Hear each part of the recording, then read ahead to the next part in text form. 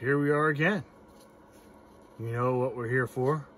You watched the previous several episodes, or you might have skipped them, who knows.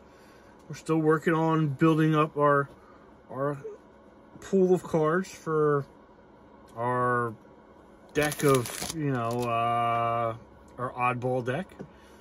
Uh, if you have been watching and you know how the, the the sets go, you would already know that our next set is going to be uh, Zendikar Rising.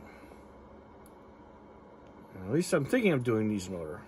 So, well, uh, we'll see what we can do. We got no snow covered lands last time.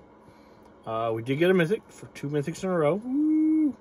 And uh, we did get a to the non-basic land. So we're building it up. We're building it up.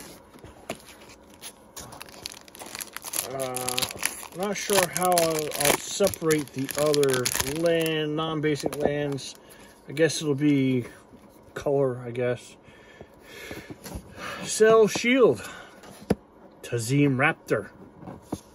Sneaking Guide. Blood Price.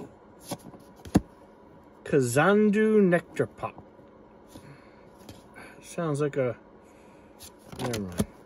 Ghastly Gloom Hunter. Nahiri's Binding. Dreadwurm. Makindi Ox. I think that's from this set. That's the one I've gotten the most from the showcases. Uh, Acquisitions Expert. Allied Assault. Jwari disruption, and oh, third three in a row. Sea Gate Stormcaller. Okay. That one's blue. We've been getting a good number of blues. Oh, and a shiny chilling trap. As much as I don't play blue, eh, we got our planes. May lean that way, and a Kor warrior token.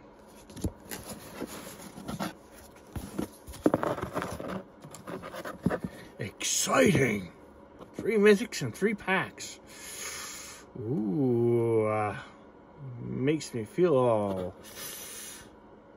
Wait, I'm made of cardboard. Of course I'm going to be stiff. all right. Next time, next time, next time.